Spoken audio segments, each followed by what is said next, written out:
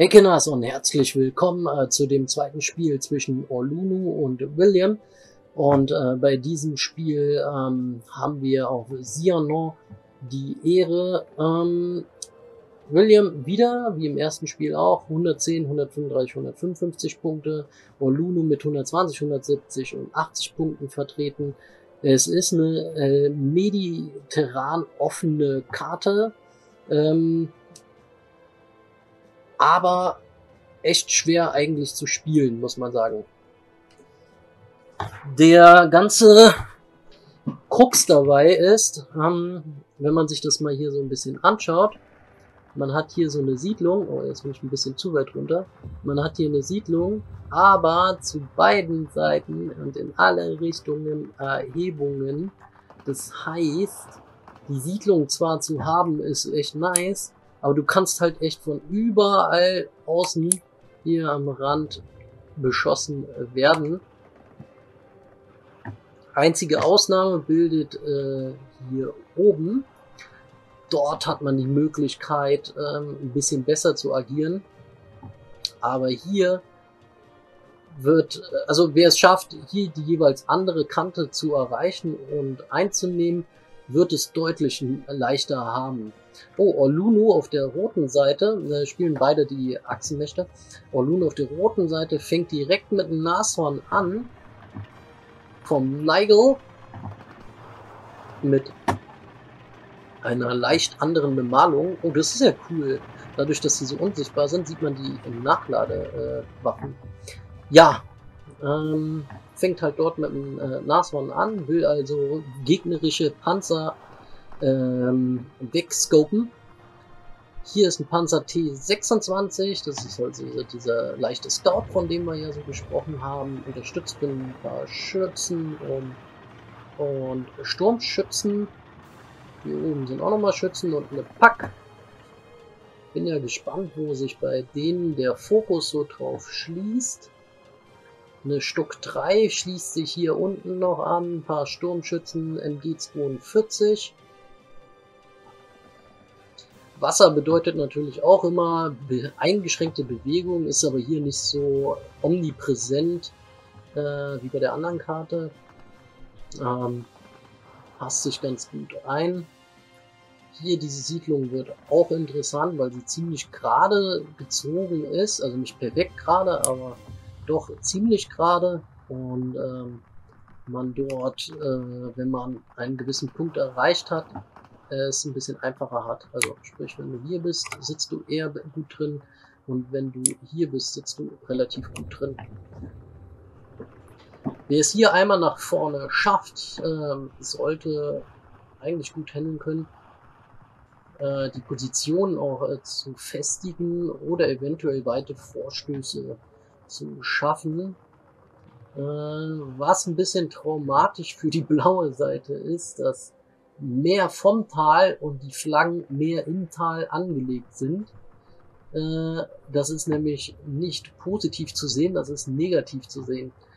Diese Flagge kann einfach von hier oben viel leichter dominiert werden als umgekehrt. Ja? Also die blaue Seite ist die etwas undankbarere Seite, aber wir werden ja sehen, wie sich die beiden damit arrangieren. So, ein wenig haben sie schon äh, aufgestellt. Hier unten kommt noch eine IG-18 hinzu, nicht die IG-88. Ne? Eine Stuck 4 ist auch vertreten. Äh, sie hat ja die Stuck 3G als Gegner. Sind wir äh, gespannt, wie sich das ergibt. Flak äh, 43, 37 mm ist auch direkt mit am Start, wahrscheinlich wegen dem Nashorn, um es zu schützen. Dann hier oben hat sich nicht so viel weiter ergeben, bis auf dass ein paar weitere Infanteristen hinzugekommen sind.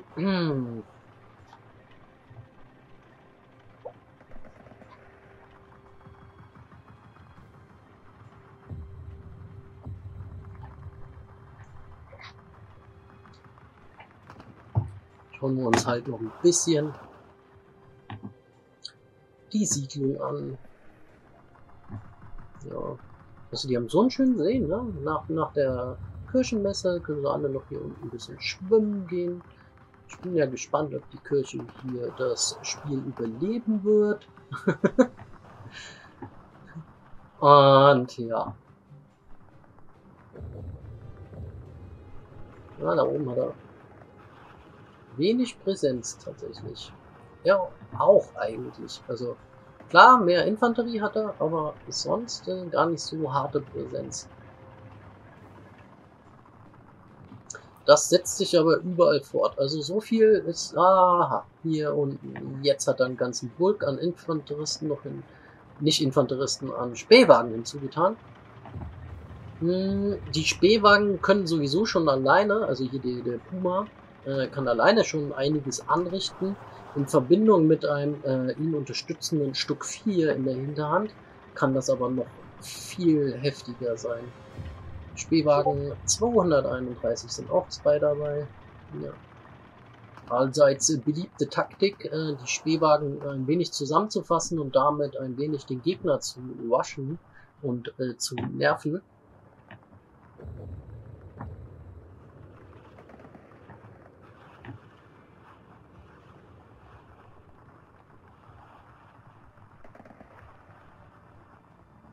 So, und los geht es. Äh, wir bleiben mal hier so ein bisschen unten, weil hier tatsächlich höchstwahrscheinlich die meiste Action abgeht. Bin mir nicht todsicher, aber... Oh, okay, ein Spähwagen ist auf der Strecke geblieben. Der kommt jetzt nach. Ja, dann wird gerupt, um vorbeizufahren. Spähwagen sind natürlich schnell. IG-18 ist auch unheimlich schnell mit dem Horsch an der Front ankommen. So, passive Stellung hier an der Kante ist natürlich nicht gut, weil Kante an Kante gewinnt Rot, wie man sieht.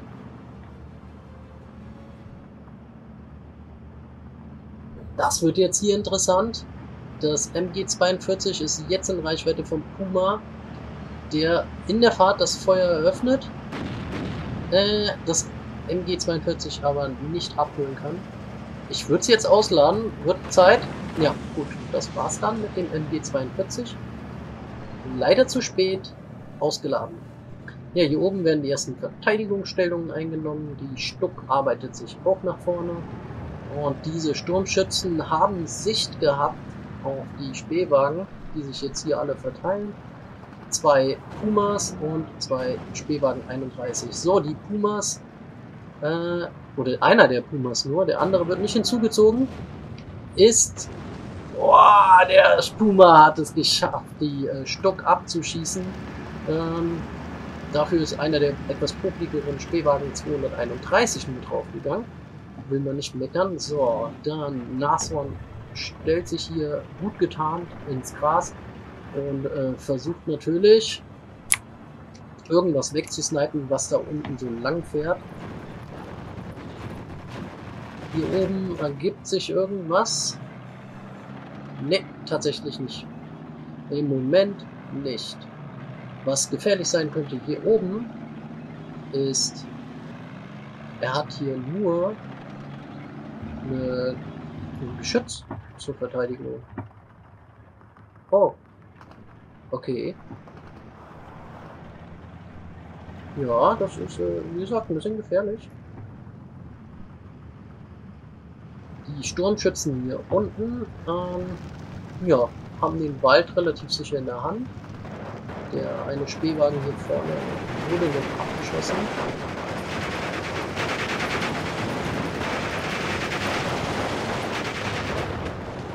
Ja, das ist natürlich gefährlich, als Sturmschützen hier so über die Lande, über die Straße gehen zu wollen. Die Schützen wollen jetzt nach vorne und wurden leider überrascht. Das Nashorn schießt von oben, okay. Und ein MG42 schießt auch von oben. Ja, die wollen alle hier rein. Die Häuser sind im Camp. Die Sturmschützen, äh, die Panzergrenadiere hier haben den kürzeren gezogen. Generell ist William hier besser davon gekommen. Auch wenn das Haus jetzt explodiert ist. Hm, also der erste große Angriff von Orlunu wurde zurückgeschlagen, äh, auch wenn das Nashorn von oben so ein bisschen aushelfen durfte. Ja, das schießt jetzt auch mal wieder. Du bist toll, Nigel, du bist toll. So, hier oben, er hat anscheinend jetzt gemerkt, oh, oh, hier wird's gefährlich, ich habe hier nur ein Geschütz. Äh, zieht Infanterie nach. Das sollte äh, er hier langsam auch tun. Er wartet noch auf seinen äh, Panzer T26, der da ganz gemächlich äh, nach oben fährt. Wir hoffen, der kommt noch an. Nö. Ja, hier sieht man halt äh, auch noch eine... Oh, hier ist äh, eine Pack gegen IG-18. Sollte IG-18 gewinnen, eigentlich.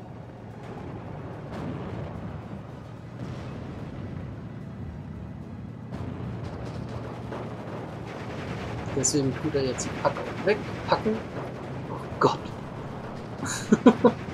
Eine weitere Pack äh, schießt jetzt auf IG-18 und die Sturmschützen sind äh, den zwei Panzergrenadieren begegnet. Gegen zwei ist halt nicht so schön. Deswegen will er jetzt die Sturmschützen wieder nachziehen. Hat aber vergessen, dann gibt es von oben Dresche. Da wurde eben schon die ganze Zeit geschossen. Naja, gut. Jetzt kommt er weg. Die Begleitgrenadiere haben es nicht geschafft. Das war, soweit ich weiß, der Panzer. T26, der da gerade den Puma ausgeschaltet hat, äh, ultra tragisch. Hier, das äh, wurde wahrscheinlich vom Nason abgeschossen. Der da hier schön fröhlich äh, auf die Truppen schießt. Ah, oh, herrlich. Diesen Sound lieben wir doch.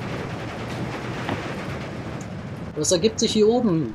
Äh, Schützen, Schützen, das äh, fette Geschütz ist schon weg den Panzer sollte er mal nachziehen. Die Schützen äh, können sich gerade schlecht schützen, die werden von den Pionieren auseinandergenommen. Die anderen Schützen kommen hinzu. Hier in der Mitte der Siedlung hat tatsächlich äh, Olunu das Gebiet weiter nach vorne besetzt. Mutig, mutig, aber kaum Gegenwehr, weil die Infanterie sehr weit hinten ist und äh, das Fahrzeug hier vorne vom Panzer T26 platt gemacht wurde.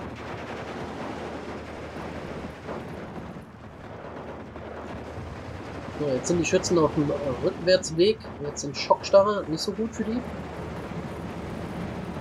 Wollen hier in die Siedlung sich nochmal kurz festsetzen, sammeln, äh, dann kann man einen weiteren Vorstoß eventuell wagen. Es kommt nochmal eine Stück 3 und Begleitgrenadiere an. Olunu immer noch mit leichtem Vorteil durch diese Flagge hier.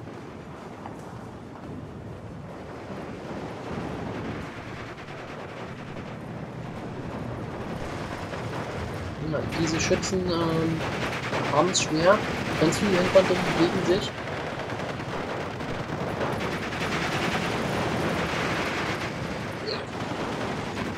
machen sich tatsächlich aber gegen die Panzergrenadiere in ihrer Nase, vor ihrer Nase, relativ gut. Also da kann man echt nicht meckern. Hm, er traut sich natürlich nicht, seine Kettenfahrzeuge hier nachzuholen, einfach weil hier oben überall eine Pack sein könnte. Äh, seine Sturmschützen hier unten haben es aber zusammen geschafft, die Infanterie zurückzudrängen. Also die zwei Panzergrenadiere haben sich hier oben auf den Hügel zurückgezogen. Ein MG42 hier unten hat keinerlei Auswirkungen. Im Grunde die Frontlinie, auch wenn die hier so eingedrückt ist, interessiert niemanden richtig. Ein Multi-Rocket Launcher kommt hier auf den Wald. Pionierführer ist raus. Den hat's erledigt. So, jetzt hat er zwei Flaggen in der Mitte eingenommen. Richtig gut gelaufen bisher für ihn. Für Olunu. Äh, Jetzt hat er die Flagge hier auch noch eingenommen. Er ist viel zu passiv hier oben, der William, was ihm gar nicht so ähnlich sieht. Im ersten Spiel hat er ja bewiesen, dass der einige sicke Moves drauf hat, um den Gegner ordentlich einzuheizen. Also wundert mich schon fast. So, hier oben wird äh, vorbereitet, um auch dort weiter nach vorne zu stoßen. Aber hier tut sich nichts von einem Pionierführer begleitete Infanterie traut sich nicht an die Sturmschützen natürlich ran. Könnten sie aber machen. Sie haben ihren ähm, Spähwagen, der ein bisschen weiter außerhalb, also so hier, äh, eigentlich dazu stoßen könnte. Von hier ja nicht zu befürchten. Ne? Ja, ist aber immer einfacher gesagt, als man das dann so sieht. Ne? Oh, der Nashorn hat einiges abbekommen. Ich nehme mal an, äh, genau, die ähm, Granatwerfer 81 mm sind dafür verantwortlich. Ja, die haben hier ordentlich das Gebiet verbombt.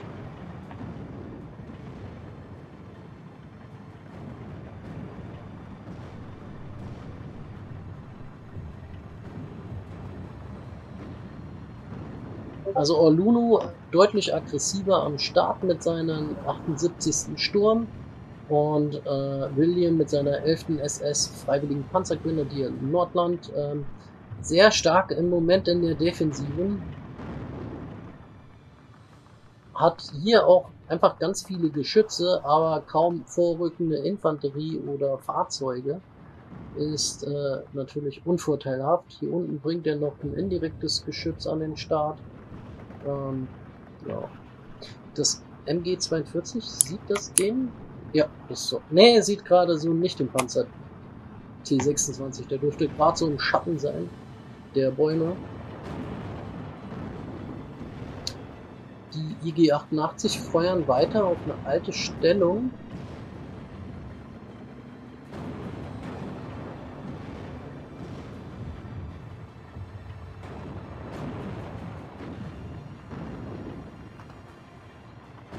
Also lang werden sie nicht mehr feuern. Ja, aber auf diese Stellung da zu schießen, bringt ihnen halt einfach nichts. Da hat er ein Missplay gemacht, er wollte vorauszielen wahrscheinlich, aber hat vergessen, den, den Befehl wieder zurückzugeben. Jedenfalls feuern und feuern die dorthin, ohne weiteren Grund. Die erste IG-18 ist leer geschossen und die zweite wird in, äh, ja, zwölf Drehungen folgen. Mit der Stellung, so wie es jetzt ist, ist ähm, Lulu relativ zufrieden. Hier vorne gab es ein kleines Gemetzel, was leider die Pionierführer gekostet hat und auch die Panzergrenadiere hier hätten es schaffen können, sind aber dabei draufgegangen. Weitere Infanterie folgt. Panzergrenadiere, Stück 4 und äh, zwei Kettenfahrzeuge als Scouts.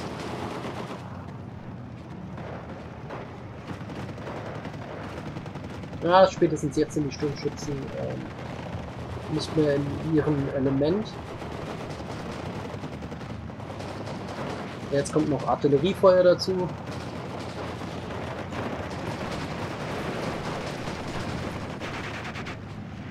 Da ziehen sie sich lieber zurück. Das heißt, er wird diesen Punkt eventuell verlieren. Oh, das ist natürlich schlecht. Die Sturmschützen ziehen sich äh, zu einem ungünstigen Punkt zurück. Nämlich genau in die Feuerreichweite von den Kettenfahrzeugen und von der Stück 4. Oh ne, die Stück 4 schießt auf die Schützen, die gerade von hinten nachrücken. Oh, der Punkt ist tatsächlich immer noch äh, für Olino. Ja, das ist zu viel Feuerkraft, die der gerade ballert.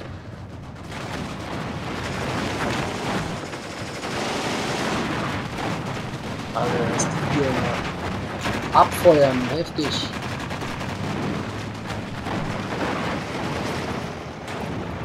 So. Nebelwerfer sind am Start. Ist aber leer.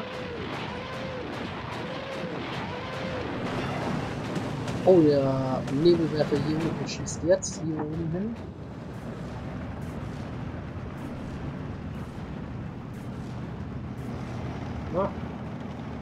Leider nicht so viel erreichen können damit.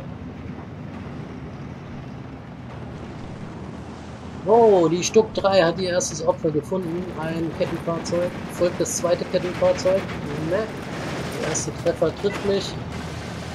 Ah, die Pack hat auch noch mit aufgeschossen. Äh, da hat er ganz schnell reagiert, den Rückwärtsgang wieder eingeschaltet. Ist Panzerung gesprochen? Ne, er hat sogar Glück gehabt, die Panzerung ist auch nicht durchbrochen worden. Trotzdem hat er jetzt diese Stellung hier verloren an ähm, William, der wahrscheinlich bald den nächsten Gegenangriff plant. Hier ist auch ein Multi-Rocket Launcher aktiv. der auf das Nashorn und die Flak geht. Hat aber keine Todesopfer äh, gehabt. Das Nashorn hier hatte einen Stell dich ein anscheinend. Ist äh, ordentlich in Panik geraten, hat es viel abbekommen. Jo, hat viel abbekommen. Die nicht vorhandene Rüstung ist, äh, Panzerung ist komplett weg. Der Panzer hier unten ist auch weg. Das ist nicht so schön für Olunu. Der jetzt nicht den Fehler machen darf und sich hier ausruhen darf. Das MG42 hier ist äh, sehr weit hinten geparkt. Das müsste weiter vorne sein. Aber naja. Ja, nochmal Raketen, die hier oben einschlagen wollen. Oh, Kettenfahrzeug ist hinüber. Die Stuck 4 kommt davon.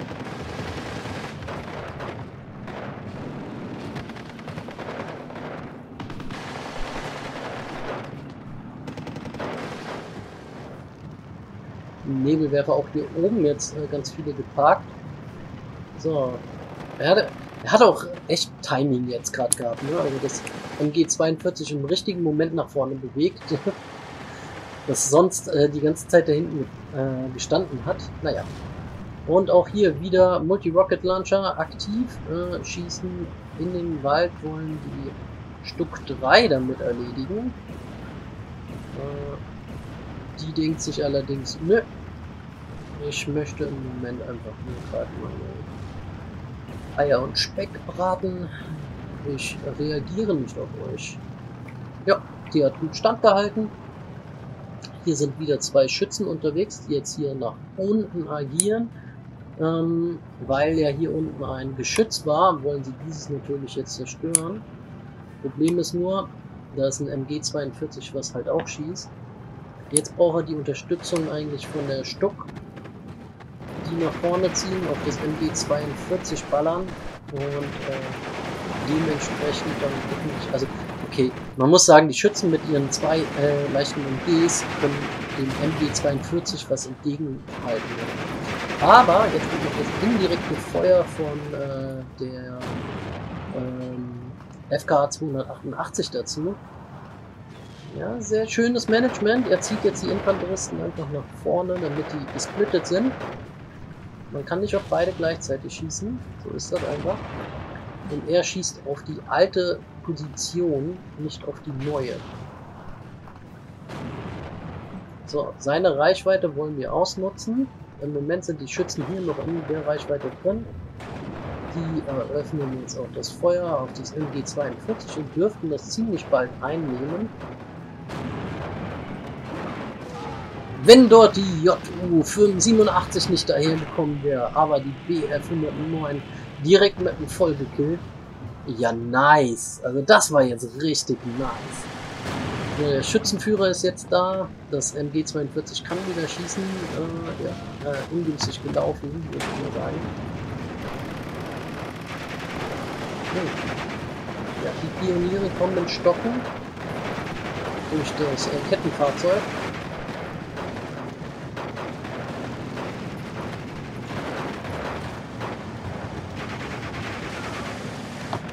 Panzergrenadiere hinten erledigt. Die Schützen jetzt nach vorne ziehen kurz und die anderen Pioniere ausschalten äh, noch. Das Nashorn äh, wurde eingenebelt. Oh, jetzt ist hier Flugzeug gegen Flugzeug. Äh, die F-190. Oh Mann, ey.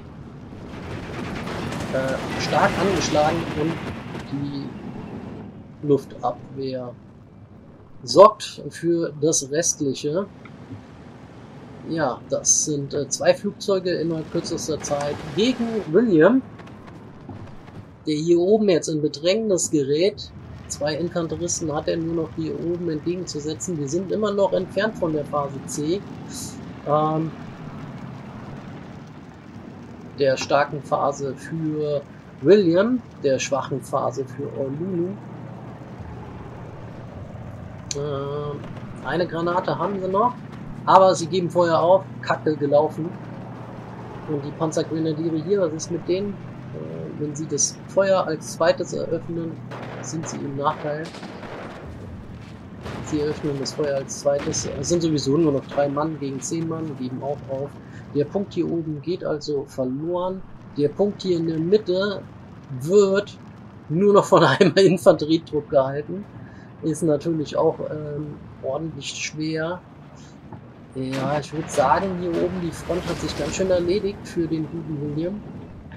Der wieder mit äh, seiner Artillerie hier einfach mal reinhält. Ähm, leider im Moment nicht so viel erreicht damit. Oh Gott, die JU 188 hat das letzte bisschen Infanterie, was hier im Wald war, noch erledigt.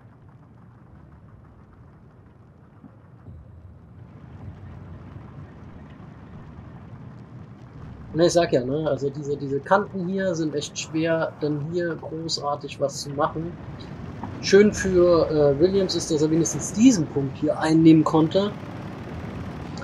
Und äh, Orluno im Moment nicht gerade so viel Willen hat, äh, diesen Punkt zurück einzunehmen. Was auch sehr, sehr schwierig wird. Panzergrenadiere hier sind jetzt kaputt die Artillerie ist echt viel am Feuern, da kann man ja gar nicht meckern. Das Problem ist nur, du hast wenig Truppen, die gerade die Bewegung nach vorne umsetzen äh, können. Du hast hier zwei Pioniere, du hast hier ein Pionier, das war's dann aber schon. Eine AR-200, also da sehen wir sie mit der 100 Bombe. Sie ist abgeschossen worden. Und kostet's den Neigel?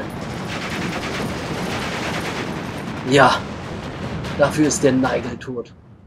Also, der, und die nächste JU 87 segnet das Zeitliche. Tja, harte Zeiten für William. Echt harte Zeiten. Wie sieht sein Plan aus? Was kann er machen? Phase C hat begonnen. Das heißt, seine Phase ist jetzt dran. Hm. Welche Truppen zieht er nach? Im Moment noch keine. Also er hat noch keine äh, weiteren bestellt. So, jetzt hat er wieder Punkte. Jetzt kann er wieder ausgeben. Wo kommt neues, frisches Blut an die Front? Hier wird nichts gemacht tatsächlich. Hier oben wird auch nur erstmal die nächste Position gesichert, aber dort wird man wahrscheinlich alsbald nach vorne gehen. Äh, nächster Raketenwerfer schießt auf die Stellung mit der Flugabwehr und der Artillerie, also sehr schön. Äh, kriegt aber nur unterdrückt. Sonst weiter passiert da nichts. Ja, hier tut sich auch nichts. Aha, da kommen die ersten Unterstützungen. Panzergrenadiere, Panzergrenadiere, hier die Artillerie weiter am Feuern. Äh, mit weiteren Schützen möchte er jetzt hier so in Richtung Siedlung eigentlich vorgehen, der gute Lulu. Äh, schafft es aber nicht ganz. Dass das Nashorn hier weg ist, ist im Moment noch nicht so tragisch anscheinend. Weswegen eigentlich auch. Ne? Ja, die Schützen machen mit ihren Karabinern und den zwei leichten MGs ordentlich Druck auf die Pioniere, die sich da nicht wirklich wehren können. Ähm, haben zwar auch einen MG 34, aber halt nur Karabiner. Ich glaube, das wird echt übel für die.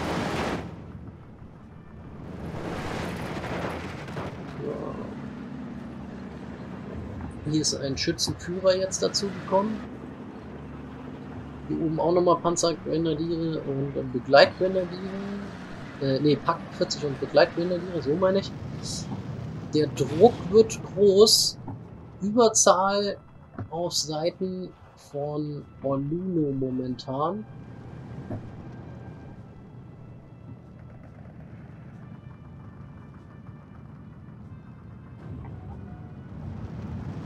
Die Pioniere werden jetzt so ein bisschen rausgedrückt. Stuck schießt auf den Spähwagen und der Spähwagen ist direkt weg mit einem Schuss. Das ist äh, auch nicht gut gelaufen. Und hier SMG 42 schießt auf die Infanteristen. Die ziehen sich auch vorerst mal so ein bisschen zurück, aber Der Panzer T26 kümmert sich um dieses MG42, das jetzt damit Geschichte ist. Ein Pionier hier und fünf Pioniere hier leben noch. Die Sturmschützen hier vorne leben halt auch noch und dürfen gleich die Panzergrenadiere MG34 begrüßen. Mit einem Howdy Ho, Motherfucker. Äh, so wie die Sturmschützen hier auch ähm, jemanden begrüßen werden. Die Panzergrenadiere mit MG26 ja, sind dann gleich in Reichweite, sobald sie den Wald betreten. Jetzt. Oder? Muss der ganze Trupp da sein? Weiß ich nicht. Ne, oh, oh, okay, okay, okay. Die kommen anscheinend gerade so aneinander vorbei. oh, hier unten ist äh, wieder ganz viel Artilleriefeuer. Das MG42 ist halt ausgeschaltet worden. Mit der Pack anscheinend. Äh, dafür ist die Pack erledigt. Ja, und die Schützen, die noch hier sind, die werden jetzt gerade durch indirektes Feuer geschossen. Ja, der einzelne Pionier hier denkt sich, ich will hier weg. Ja, hat sich erledigt, du bist gefangen genommen. Damit ähm, 15 Flaggen gegen 9. William. ja, der Artilleriebeobachter nimmt das hier jetzt als Ziel. Er weiß natürlich nicht, dass hier nur ein Panzergrenadier drin ist.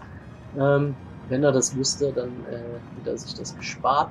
Hier oben durch Inaktivitäten seitens Olulu kommen die ersten Infanteristen und Stück 3 als äh, Stück 3G als Verstärkung dazu. Ja gut. Er war zufrieden mit der Position.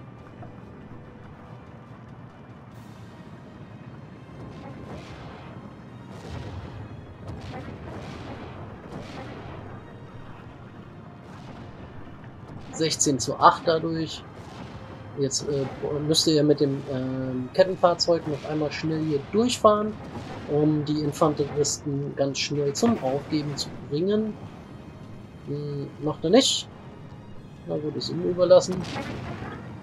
Dann hier, wie gesagt, in der Defensive, es sind drei Stück, drei und dreimal Panzergrenadiere, SMGs auch nochmal drei, also die magische Zahl ist dreimal drei. Hm, was haben wir denn hier? Da ist nochmal ein schneller Bomber. Düsenjet hat seine 1000 Kilogramm Bombe abgeworfen. Die Sturmschützen sind jetzt doch endgültig Geschichte. Und hier dieser Düsenjet kommt davon.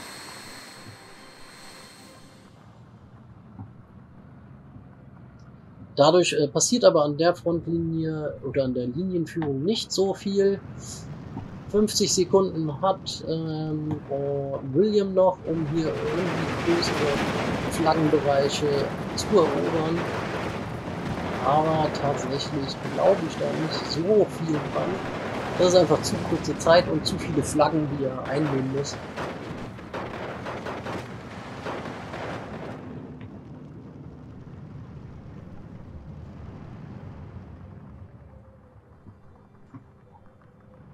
Trotzdem äh, von beiden Spielern echt schön gespielt und äh, man hat einiges äh, gesehen an Movements äh, von William, vor allem im ersten Game von Olunu. Im zweiten Game sieht man, äh, dass man aggressiv nach vorne gehen kann und auch eine Artillerieübermacht einem dann nichts bringt, weil Truppen, die sich bewegen, können nicht so schnell von ähm, Artillerie beschossen werden.